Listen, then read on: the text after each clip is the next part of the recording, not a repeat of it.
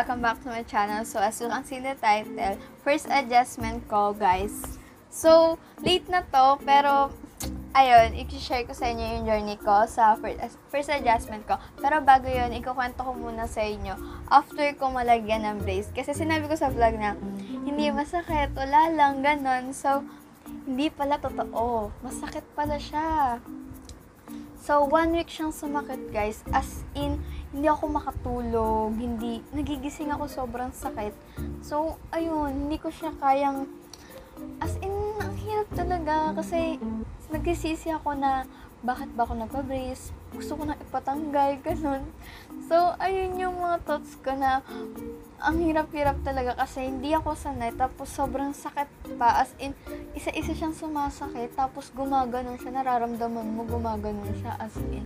So yun lang naman sinasabi ko kasi sa vlog ko that nung una kasi na hindi siya masakit pero joke lang guys masakit pala siya. So pag-isipan niyo muna kung mag-brace kayo. Pero kung kailangan naman ng ngipin yung mag-brace kayo why not, ba diba? So, ako kasi, gusto ko nang ipaayos yung teeth ko, kaya ako nag-brace. So, ipapakita ko sa inyo kung paano ako in-adjust.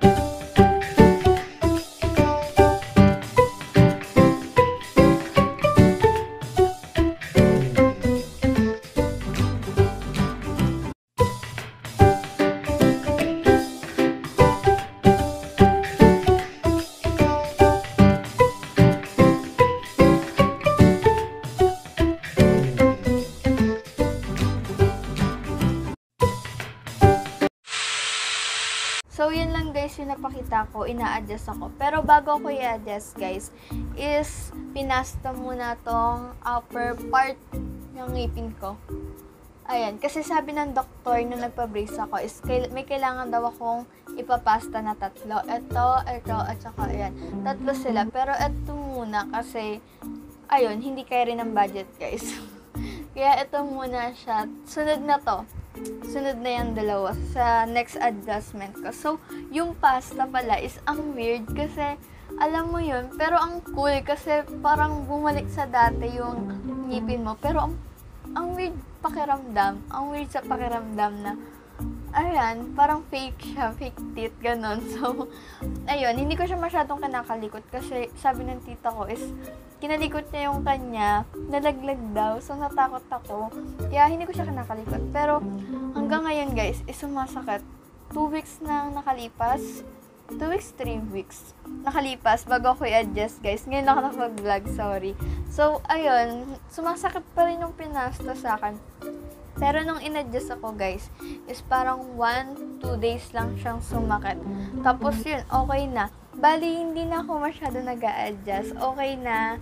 Bali, okay siya sa akin. Ganon. So, nahihirapan lang talaga akong kumain. Kasi ang hirap talaga kumain.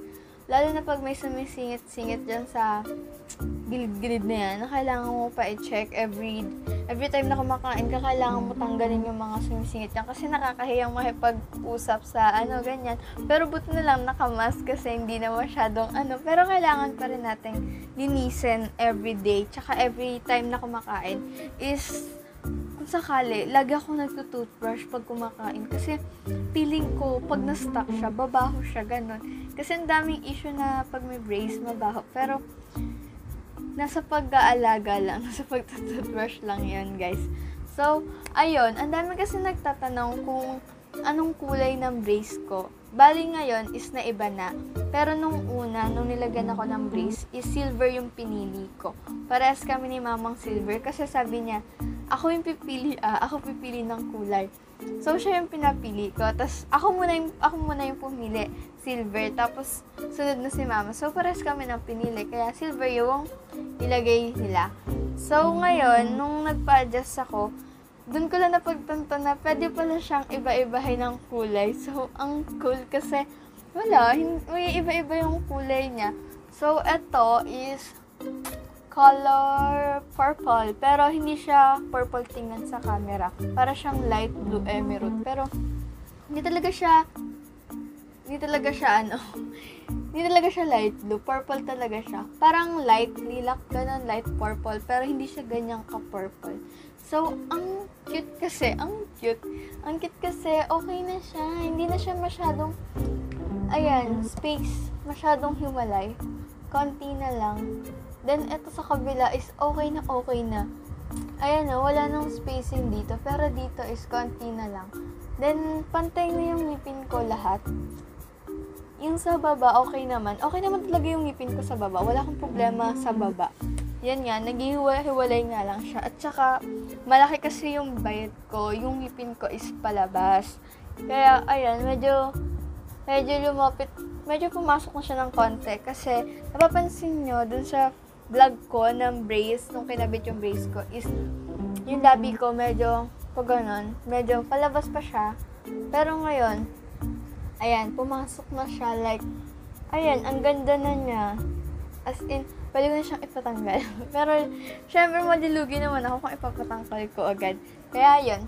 Ma- feeling ko marami pa naman siyang aayusin sa ngipin ko kasi hindi naman ganun ka-perfect yung ngipin ko. Kaya, yun, mag-aantay-antay na lang tayo na matanggal yung, ngip, yung ngipin ko, yung brace ko. So, yung sasabi ko lang, ang dami kasi nagtatanong na magkano ba, magkano ba yung total, ganyan.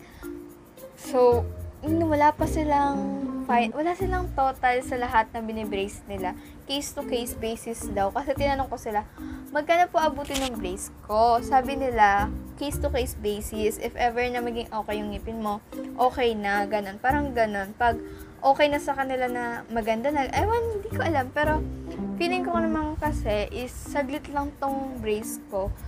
Siguro, mag one year lang to, ganun. Kasi hindi naman siya ganun ka, alam yun, sira-sira. And, ayun, parang konti lang naman yung problema ko sa ngipin ko.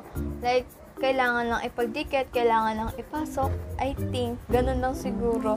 Pero, yun nga, konti lang yung pain na naramdaman ko kasi nung in-adjust. Kasi sabi nila, sa, sa adjustment masakit. Pero, mas masakit nung bin-brace. Nung nilagay yung brace, tapos mga one week, one week, ganun. Ang sakit. Pero ngayon, nung in-adjust, hindi naman siya masakit. Medyo naramdaman ko lang yung pagka dinidikit kasi hinigpitan, parang hinigpitan, ganun. So, ganun, nararamdaman ko lang dumidikit-dikit, ganun. Pero yung sakit, carry naman, carry, carry naman yung sakit. So, ayun, konti lang yung pinaramdaman ko kasi hindi naman siya ganun ka grabe. Hindi katulad ng iba na sobrang sakit talaga kasi kailangan pa i-adjust yung sungkay, kailangan bunutan, ganun. Medyo sanay na akong ayan, mag-smile. Kasi nung una, cringe na cringe ako sa sarili ko mag-smile. Pero ngayon, okay na. So, ayun, medyo nagugustuhan ko na siya and bumabagay na siya sa akin.